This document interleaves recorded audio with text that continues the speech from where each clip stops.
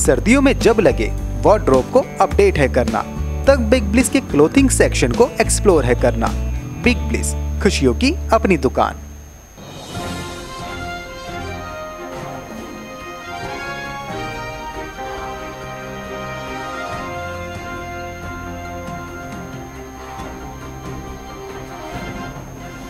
राजधानी दिल्ली के कई इलाकों में भीषण गर्मी का प्रकोप लगातार जारी है।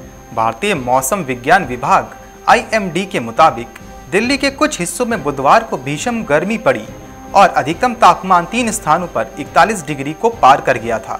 वहीं लू का प्रकोप गुरुवार को, यानी आज भी बरकरार रहने की उम्मीद जताई गई है।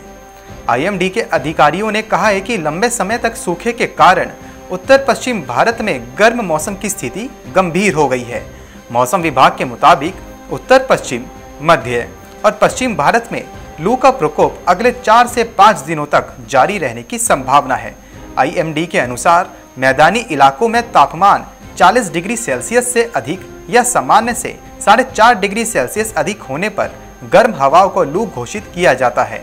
सामान्य से 6.4 डिग्री अधिक तापमान होने पर भीषण लू की घोषणा की जाती है।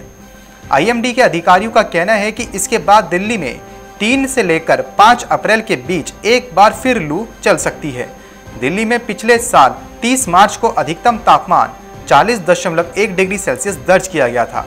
दिल्ली में 31 मार्च 1945 को 40.6 डिग्री सेल्सियस तापमान दर्ज किया गया था, जो मार्च के महीने में दर्ज सर्वाधिक तापमान था। Report Market Times TV. फिर से आ गया है कोरोना। घर पर रहने में ही है सबकी भलाई। अब आपको मेडिकल स्टोर पर लंबी लाइन में नहीं लगना। बिग ब्लिस लेकर आएगा। 10 मिनट में आपके घर पर दवाई। बिग ब्लिस खुशियों की अपनी दुकान।